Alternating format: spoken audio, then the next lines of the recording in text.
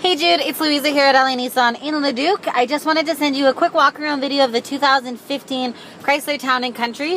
Um, I know you had a chance to look at the CarProof online on Auto Trader, which is awesome. I'm sure you noticed that it's accident free, never left Alberta, uh, pretty much as clean as a CarProof could possibly get.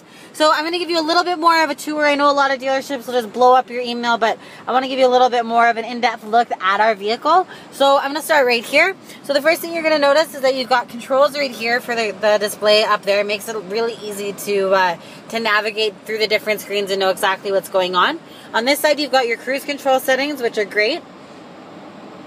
Um, up here, you can see the kilometers. So currently sitting around 51,000 kilometers. Um, you've got auto headlights on the side here. I don't know about you, but when I get a vehicle, that's uh, that's a huge thing for me, knowing that I don't have to always play with the lights every time I get in or out.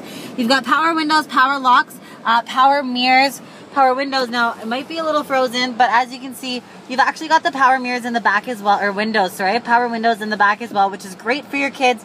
Not like vans when uh, I was a kid and when you were in the back, you were just, you were stuck back there. Um, so in the middle here, you have your backup camera. I'm just to throw this into reverse. As you can see right there. So you've got your backup camera, which is awesome. Chrysler loves putting the little clock in the front, gives it a little bit of a classy touch. All of your uh, temperature settings are back here. Now just a quick look into the back. Lots of seating. The vehicle is in amazing shape. I mean, it's a 2015, so um, it's exactly what you would expect. You do have the stow and go seating, which is great. Everything is in great condition. You've got the third row uh, temperature controls up there, and then a whole bunch of storage all the way across the top. Now, one of the great things about this vehicle is that it does have the power sliding doors as well. So you've got your left side, your tailgate, and then, uh, whoa, there we go. Left side, tailgate, right side right there. So you don't have to get in and out of the vehicle to, uh, to open those doors. You can see right there, it's open. And now I'm just gonna close it. I'm just gonna hop outside really quick, give you a quick tour of the outside. Whoop, it's a little icy out here. As you can see, I'm at the compound, lots of vehicles out here.